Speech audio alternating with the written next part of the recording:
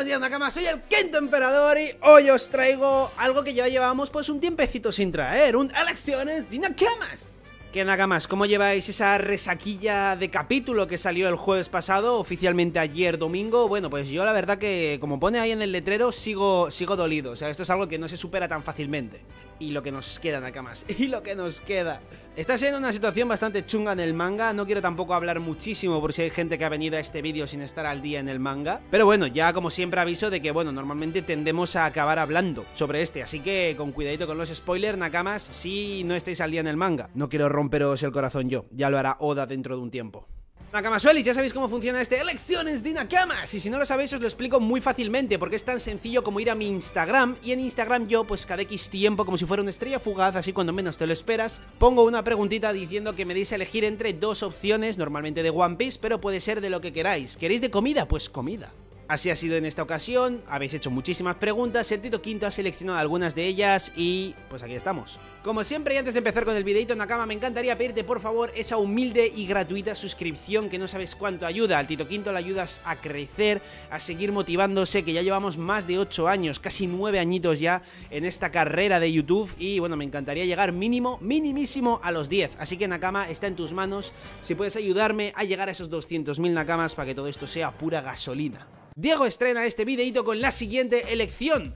Chopper pre-time skip o post-time skip. Y bueno, esto es algo que se ha ido debatiendo durante mucho tiempo en la comunidad, ¿no? Y cómo pues ese cambio hacia un Chopper más kawaii frente a ese antiguo monster más feo y más monstruoso que de hecho es lo que Oda pretendía transmitir, ha sido una evolución pues que no ha agradado a mucha parte del fandom. Y yo estoy totalmente de acuerdo con que realmente la idea de Chopper, sobre todo al principio de la serie, es como tiene ese complejo de monstruo, ¿no? De que nadie le quiere, de que es feo, de que es diferente y de que en la tripulación de los Mugiwara tiene ese hueco donde da igual sea como sea y lo raro que sea y lo feo, monstruoso, lo que vaya a ser, porque ahí no discriminan y no hay diferencia entre unos y otros, sean humanos, sean renos o sean esqueletos. Y esa magia se transmite pues en cuanto Chopper pre-time skip entra en la tripulación y es aceptado como uno más. Claro, esta filosofía de vida, digamos, se rompe en cuanto Chopper en el time skip de repente pasa a ser un peluchito mucho más comercial y mucho más kawaii de Sune o Nichan. Y esto ha molestado a mucha gente. A mí, la verdad, que me da bastante igual por un motivo muy sencillo. Chopper, cuando llegó al time skip, ya era aceptado, ya él se quería a sí mismo y no hay ningún problema con que cambiara. Es decir, Chopper asumió su rol de que él era como un poco uno de los monstruos de la tripulación y le daba totalmente igual. Luffy iba a, mir a mirar igual a Nami que a Chopper que a Sanji. Entonces, si a día de hoy tuviera todavía ese, ese complejo o esa insistencia en demostrar que es un monstruo pero le da igual, pues entiendo esa rayada, pero Chopper ha evolucionado en aspecto físico al igual que lo ha hecho mentalmente y en su interior. Con lo que sinceramente me da bastante igual y no soy de ese gran grupo que se molesta por ese cambio de Chopper, el cual entiendo totalmente, entiendo totalmente esa molestia, pero para mí, por lo que acabo de decir, no me parece para tanto. Aún así, a mí me gusta más que la tripulación de los Mugiwaran sean todos unos bichos raros, como un Chopper, un Jimbe, entonces, o un Frankie incluso, entonces me quedo yo también con el pre-time skip antes que el post-time skip de Chopper. Jokin hace la siguiente elección de Nakamas. Kuma aparece en Egghead versus Dragon aparece en Egghead. Pues bueno, más puesto a los dos que más estamos deseando que aparezcan. Y ojo con que no aparezcan los dos pero yo creo que por cómo está apuntando todo este flashback con esa profundidad y cariño que estamos cogiendo sobre todo a Kuma y a Bonnie, para mí el hecho de que no apareciera en estos instantes, en cuanto acabe el flashback, Kuma en Egghead me parecería un sacrilegio. O sea, nos lo está dejando todo en bandeja Oda para que Kuma aparezca. Dragon es más difícil y tampoco descartable, porque insisto, pueden aparecer los dos. Sin embargo, Dragon sería un poco más por fuerza de guion, para ayudar a salvar la situación, mientras que Kuma es casi obligatorio que aparezca. Estamos hablando de que ha aparecido Jewel Riboni en este arco, no por nada. Estamos hablando de que estamos viendo un flashback en el que se está desarrollando a Kuma como uno de los personajes más cercano a Dios que existe y a Jesucristo, donde vemos todo su pasado, su dureza, su motivación y todo lo que nos queda todavía por ver de este flashback, el cual seguramente explique por qué ahora mismo Kuma ha llegado a ser una persona pues que tiene más de robot que de persona, y cómo Bonnie se llegó a salvar de esta enfermedad, posiblemente gracias a Kuma. Todo esto falta por ver y seguramente sea para enriquecer a un personaje totalmente de lore para que cuando aparezca aquí tenga un gran final. Salve no solamente a su hija Bonnie, sino que también salve al dios de la liberación, a Nika. Y de esta manera Kuma, a su manera personal, estaría liberando también y haciéndose un poco de guerrero de la liberación y teniendo un gran final. Si Kuma aparece, salva a los Mugiwaras, mandándolos a donde sea, a Elbaf, por ejemplo, junto a Bonnie, y muere en este arco, haría automáticamente a Kuma uno de los mejores personajes de toda la historia de anime y de, y de manga. Con lo que creo que ha quedado claro que me quedo con que Dragon aparezca y que le den por culo a Kuma. No, es broma, es broma, es broma. Kuma. Gabriel hace la siguiente pregunta, interesante también. Decirle a Oda gracias por todo o tener un boceto original de Kuma llorando firmado. Se nota que estamos aquí con la fiebre de Kuma, ¿eh? Pues Kuma, tú dices entre estas dos opciones... Horror.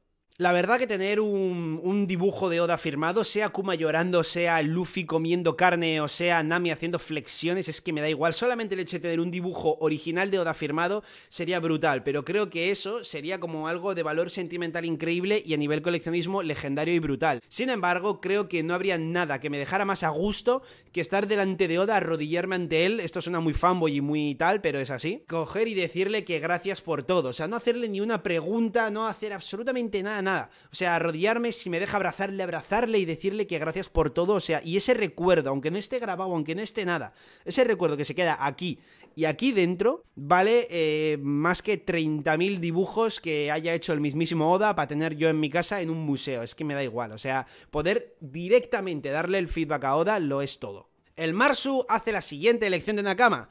Que One Piece siga con el ritmo actual y haya dibujos inacabados o que baje el ritmo. Esto entendemos que esta pregunta se debe al último capítulo de todos, el cual pues Oda, incluso en la propia portada, pide disculpas porque no le ha dado tiempo a terminar todo. Y vemos efectivamente que hay bocetos, literalmente que son bocetos que no han llegado a terminarse de entintar en el propio capítulo. Y esto, como dije en la review, realmente es un punto de inflexión bastante gordo, ¿no? En el que deberíamos de plantearnos si realmente Oda ahora mismo, con todo lo que tiene que hacer y con todo el dibujo y rellenar la historia y todo, eh, si realmente está al nivel de tener eh, que hacer tres capítulos mensuales. O si de lo contrario, le vendría bien bajar un poco el ritmo. También es verdad que esta vez ha sido un caso puntual. Normalmente Oda no deja los dibujos sin acabar. De hecho, me atrevería a decir que es la primera vez que lo hace en todo lo que llevamos de manga uno de 1100 capítulos prácticamente. De momento no me parece alarmante. Y es verdad que Oda tiene mucho trabajo a sus espaldas que nosotros no somos capaces de ver. Porque Oda no se ciñe únicamente a dibujar el manga y ya está. O sea, está pegado 10 horas al día al teléfono con sus editores para crear la historia. Está con movidas de películas, con el live action, con cosas que seguramente no tengamos ni la más mínima idea de qué hace. Es decir, un montón de cosas de su vida privada y profesional que hacen pues que pase esto. ¿Habría que bajar el ritmo? Yo creo que es una manera de prevenir bastante positiva para evitar que pase cosas como ya han pasado otra gente, como el creador de Berserk, como el creador de Hunter x Hunter y otros tantos que han acabado, si no muriendo, muy enfermos, sobre todo por la gran carga de trabajo que conlleva trabajar para la Shonen Jump y hacer un manga tan largo. Entonces, yo, pues sinceramente, desde el absoluto desconocimiento, sí que estaría por la labor de bajar un capítulo al mes. Es decir, hacer dos capítulos al mes. Un capítulo de semana sí y otro no. Mismamente, o dos sí y dos no. Pero en vez de que sean tres al mes, bajarlo a dos y que de esta manera ahora tenga un poco más de espacio, porque esto nos va a afectar positivamente a nosotros también, teniendo en cuenta que Oda estaría un poquito más descansado. Ya no te hablo de hacer mejor los dibujos, sino de tener la mente más tranquila para hacer mejor la historia. Que no tenga prisa por querer acabar y cerrar sucesos rápido y que no se queden las cosas a medias, como ese final rápido de Guano, como ese flashback de God Valley que se ha quedado eh, literalmente con la miel en los labios, y muchas cositas que seguramente el Oda de hace 5 o 10 años hubiera parado a desarrollar mucho más. Con lo que yo sí que estoy a favor de que Oda baje un capítulo más, la marcha de mes a mes y vayamos a dos capítulos por mes. ¿Quién es mejor padre, Kiros o Kuma? Un abrazo, joder, aquí ha ido con, el cuchillo jamonero más afilado de todos. Todavía queda ver qué es lo que hace Kuma por Bonnie para ver cómo se salva, cómo demonios acaba en el Shichibukai, luego siendo un cyborg y demás. Es decir, de Kuma todavía queda bastante evolución. Sin embargo, no podemos caer en el gran pecado de que como Kiros fue hace mucho tiempo, olvidarlo. Kiros tuvo una familia como tuvo efectivamente Kuma, aunque de una manera un poco diferente porque Kiro sí que llegó a, ver a, su esposa y a su hija a la vez. También perdió a su mujer, de hecho no por una enfermedad, sino por un asesinato en su cara, y tuvo que cuidar durante toda su vida de Rebeca siendo un juguete, un juguete que no tenía fuerza, que solo tenía una pierna y lo más turbio y duro de todo, le cuidaba sabiendo que era su padre, pero Rebeca no sabía que Kiros era su padre, es decir, Kiros estaba cuidando a su hija mientras que su hija estaba siendo cuidada por un desconocido.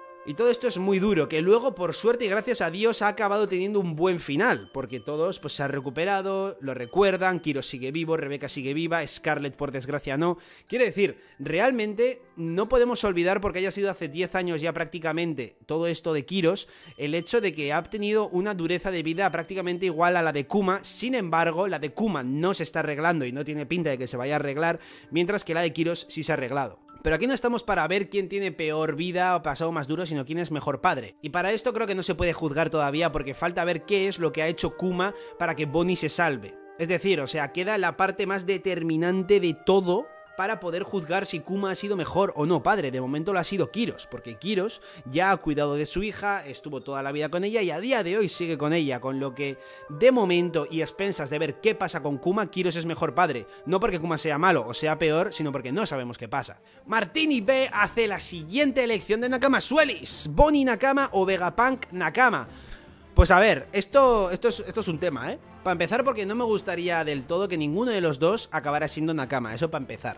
Yo creo que Vegapunk tiene un rol totalmente diferente, es una pieza clave en la historia de One Piece y en el futuro de One Piece también puede serlo, sin embargo, no creo que dentro de los Mugiwara. Para los Mugiwara y el tema de los inventos, aunque sea en una grandísima menor escala, ya tenemos a Frankie y meter a un Vegapunk sería opacar un poco ese rol de, de Frankie, sería como meter a Marco el Fénix o a Trafalgar Law en la tripulación y que el rol de Chopper pues perdiera bastante importancia, no le veo sentido. Con lo que con Vegapunk veo lo mismo. Otra cosa es que sea un aliado, que vaya con nosotros a la siguiente isla o cositas de este rollo un poco como Kinemon y Momonosuke, eso sin ningún problema.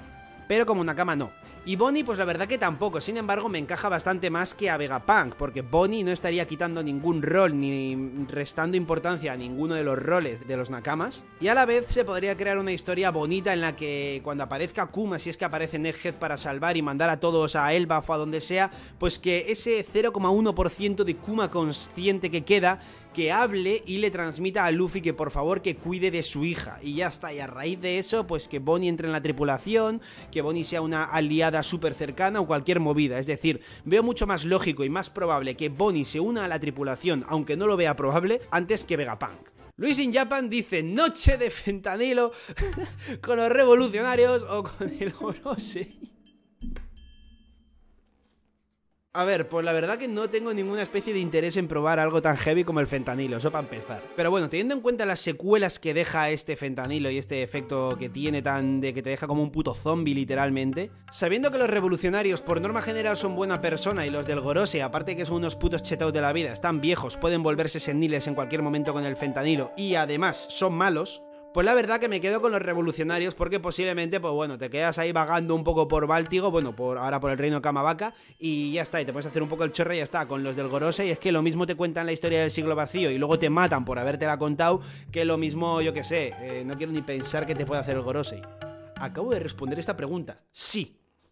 Gitatum hace la siguiente y dura. Esta es difícil de elegir, ¿eh? Pero bueno, tengo una respuesta creo. Elección. ¿El flashback de Oden o el flashback de Kuma? Aquí hay cositas que comentar. Lo primero de todo, lo mismo que he dicho con lo del tema del padre de Kiros. El flashback de Kuma está sin terminar. No se puede saber qué va a pasar.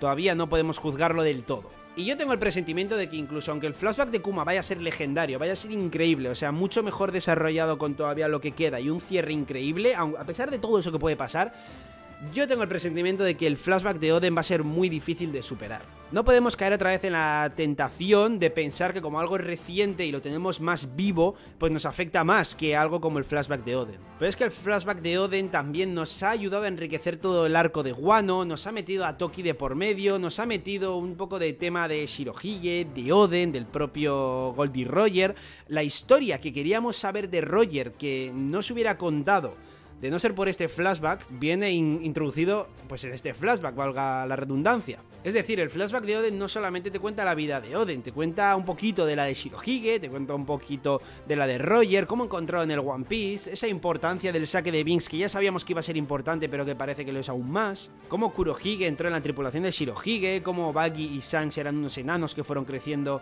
donde Roger, esa entrega de Roger a la marina, un montón de cosas que no es que afecten solamente a la vida personal de Kuma o de Jewel Ribbon en este caso, sino que afectan a los niveles gordos de la historia donde afecta y donde se mueve toda la trama general. Obviamente con un enfoque mucho más concreto en Oden, en la saga de Wano, Orochi, Kaido y demás, pero es que abarca niveles generales, todo acompañado de muchísima epicidad, muchísima fuerza y con un final epiquísimo como el de la muerte del propio Oden. El flashback de Oden se podría catalogar como épico y que rellena la historia del trasfondo de One Piece, mientras que el flashback de Kuma se puede considerar dramático, triste y que rellena la historia del propio Kuma y de Bonnie. Para mí, por eso mismo, considero que el flashback de Oden, además de que soy un fanboy aférrimo a Oden, eso yo creo que todo el mundo lo sabe ya. Y si no, mira este tatuaje.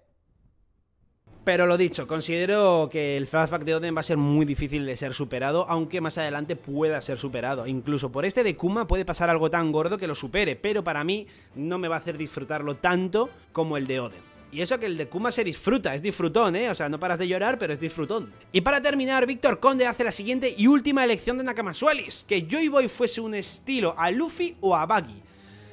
Pues... ¡Oh! Esto está guapo, ¿eh? Pero no, yo aquí tengo la respuesta muy clara. No me gustaría que fuera un buggy, porque un estilo buggy implica también que tenga un poco de suerte, que engañe y que mediante esas mentiras consiga cosas. Y un Joy Boy, mm, yo no lo entiendo así. Luffy tiene una forma de ser muy concreta que llama la atención mucho, que gusta mucho y que realmente es bastante única dentro del mundo de One Piece. Y a raíz de todo esto, junto a su fruta, es por lo que se ha ganado el apodo también de Joy Boy, con lo que yo entiendo que el primer y único Joy Boy, aparte de Luffy seguramente, también tenía esta clase de comportamientos y que por eso mismo es lo que por lo que la fruta le eligió al primer Joy Boy y todas estas movidas, con lo que yo creo que debería ser mm, de una manera muy similar a la de Luffy, mientras que puede haber otro Buggy y de haber otro a mí me gustaría mucho que fuera Roxy Shebek. Sería espectacular que Shebek, el cual pues Shirohige y demás siempre insisten en que era un inútil, que no sabía llevar una tripulación ni nada del estilo, pudiera tener un poco ese rollo buggy que sea una persona con mucha suerte